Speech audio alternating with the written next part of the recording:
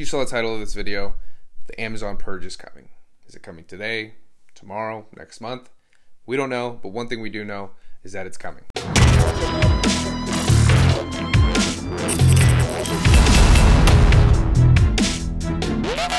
What's up guys, Marvin here. Welcome back to another video. So as some of you may have heard from a recent Bloomberg article, the Amazon purge is coming. Amazon is set to unleash a long-feared purge of small suppliers. Now, before I break all of this down and tell you how it's going to affect you, I do have to give a shout out to my boy Alex, who left this updated article in the comment section in one of my recent videos. So, shout out to him. Now, we actually talked about this a few months ago when Amazon did this for the first time. Claims came out that Amazon was no longer going to do business with their smaller suppliers, suppliers they were working with through the Vendor Central platform. Instead, they would have all of those suppliers migrate to a Seller Central account away from the vendor central account and sell as a third party seller like all of us do. So after that article came out, Amazon ended up retracting all of those statements and just continuing business as usual, acting like nothing ever happened. So all of those smaller suppliers went from completely panicked to relieved overnight. But now Amazon has done this again. Well, sort of. The writer of the Bloomberg article claims that according to three people that are familiar with Amazon's plans,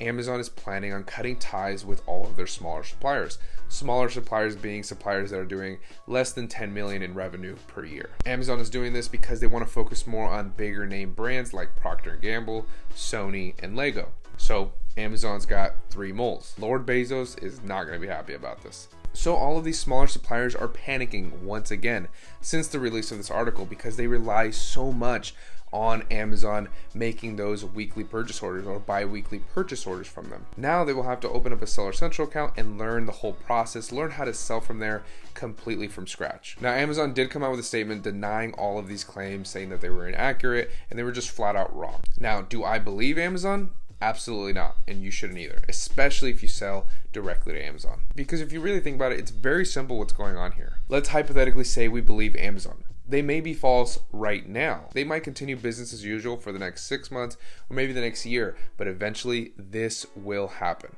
100% that this will happen, that they will cut ties with their smaller suppliers. Maybe not today, Maybe not tomorrow, but eventually they will. And why do I think they're to do this? Well, the first clue is that this isn't the first time this has happened. This is the second time that it's happened in the last two months. And it's pretty obvious that this is the direction they want to go because if you put yourself in Amazon's shoes, so let's say you run the business, you run Amazon. So you own half of the online retail space with your platform, your platform being Amazon.com. And in your platform, over half of your sales come from third party sellers. And of each sale that a third party seller makes, you get your cut. And for the most part, you make more money when a third party seller makes a sale than when you sell that exact same product. But the biggest difference is that when a third party seller makes a sale, Amazon doesn't have to worry about placing purchase orders. They don't have to worry about storing the inventory on their own behalf and they don't have to worry about paying employees to manage all of their vendor central accounts. They just have to provide the FBA services on the behalf of the seller, but they aren't taking any of the risk. The risk of buying thousands and thousands of units of a product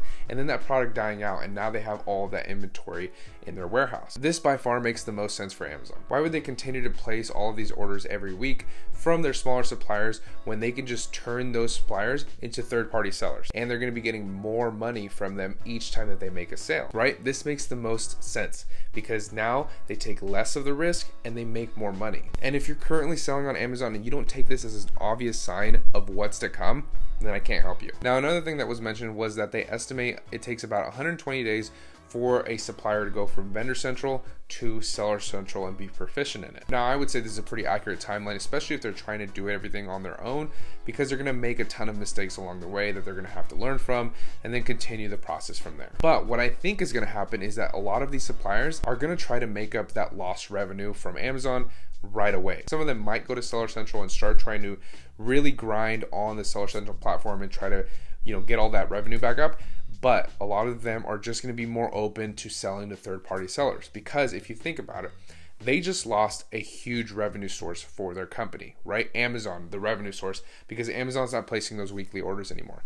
So if you come knocking on their door, pretty much with cash in hand, telling them that you're going to give them this cash for what they have, chances are they're not going to turn you away because they need to make up that revenue somewhere else because now they're not getting it from Amazon. They are going to get it from the third party platform, which is Seller Central, but it's going to be slower because now they're doing it one sale at a time opposed to just giving Amazon a huge purchase order every week. And also, a lot of suppliers I don't think are going to want to take four months to hire somebody to train them and have them just designated to Seller Central. I think some of them are just going to turn to wholesalers and just start selling off their inventory that way. But those are just my opinions, and let me know what you guys think. What do you think Amazon is going to do here? Do you think they're actually going to cut their ties from them, or do you think they're just going to keep business as usual? One thing we know for sure, guys, is that Lord Bezos isn't around. So start contacting the suppliers, start knocking on their doors so you can start getting those wholesale accounts and you can start making some more money. Now, if you don't know how to find suppliers, then you're going to want to check out the video on the screen where I show you exactly how to do that, or you can check out the link down below in the description and I show you a few more ways for finding suppliers.